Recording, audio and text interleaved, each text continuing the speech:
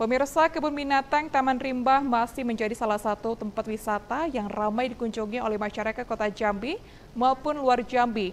Diketahui pada H plus 4 Idul Fitri, jumlah pengunjung meningkat signifikan yang diperkirakan lebih dari 10.000 orang. Berikut liputannya. Kebun binatang Taman Rimba masih menjadi salah satu tempat wisata yang ramai dikunjungi oleh masyarakat kota Jambi maupun luar Jambi. Dikatakan Raden Wawan Septiawan, pada H plus 4 Idul Fitri, jumlah pengunjung meningkat signifikan yang diperkirakan sebanyak 10.482 orang. Hal ini dikatakannya bisa disebabkan oleh persiapan pihaknya yang menyediakan infrastruktur yang ramah bagi anak-anak seperti menunggangi kuda dan gajah, serta juga pihaknya menyediakan ragam satwa unik yang digemari oleh anak-anak. Untuk harga tiket pun lanjutnya, tidak ada kenaikan saat lebaran sehingga ini juga merupakan faktor masyarakat masih menggemari wisata edukasi di Taman Rimba ini. Ke depan, lanjut Raden, pihaknya sedang merencanakan untuk mendatangkan satwa baru, yakni harimau benggala, yang identik dengan keunikan warna putihnya. Ya, terima kasih. Alhamdulillah, uh, kami dari keluarga besar Taman Rimba Hidung Jambi, uh, kalau untuk jumlah pengunjung untuk Lebaran ini uh, sangat meningkat. Yang hari biasa itu Eh, dengan hari lebaran ini uh, per hari hampir 2000, 2000. Di hari lebaran keempat ini pengunjung kita sudah kita perkirakan hampir 10.482.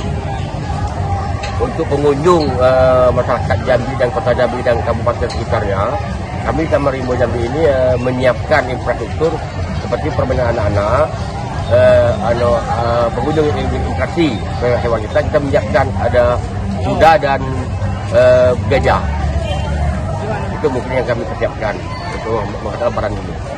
Untuk harga tiket kami tidak ada perubahan, e, dewasa itu di 12 ribu dan satu ribunya asuransi dan anak-anak 6 ribu. Tidak ada perubahan kami ada tiket. Mungkin untuk ke depan ada perencanaan kita menyambut liburan atau tahun baru. Mudah-mudahan mohon doanya kami lagi berupaya untuk mendatangkan e, harimau benggala, harimau putih. Sementara itu, Erwin, selaku pengunjung mengatakan, ia beserta keluarga antusias berwisata di Taman Rimba karena selain wisata juga merupakan tempat edukasi bagi anaknya. Libur lebaran, refreshing lah. Gimana nih Pak tanggapannya di Taman Rimba? Baik, nyaman. Apa yang bisa kita